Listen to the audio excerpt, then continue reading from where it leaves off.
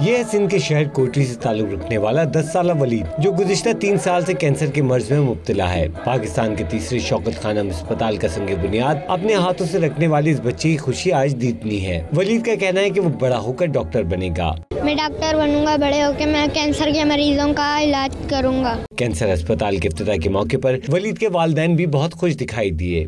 इसके फेफड़ों में इन्फेक्शन था कैंसर का तो शौकत खान हॉस्पिटल से हमारा इलाज हुआ है इसका फ्री तो हम बहुत शुक्रगुजार हैं इमरान साहब के कि उन्होंने इतना अच्छा हॉस्पिटल बनाया। है पहले जब पता चला था कि इसको ये बीमारी है जब तो हम बहुत परेशान हुए थे।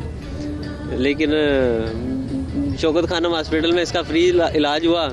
बहुत खुश हैं कराची और सिंध के मुलैका इलाकों में गरीब मरीजों को कैंसर की तशखीस और इलाज की फरहमी के लिए बनाया जाने वाला शौकत खानम अस्पताल 20 एकड़ ज़मीन पर तामीर किया जा रहा है। अस्पताल की तमीर पर तकरीबन साढ़े चार अरब रुपए लागत आएगी। अस्पताल उनतीस दिसंबर 2019 में मुकम्मल होकर अपना काम शुरू कर देगा। कैमरामैन इमरान खान के साथ चाँद नवाब 92 न्यूज़ कराची।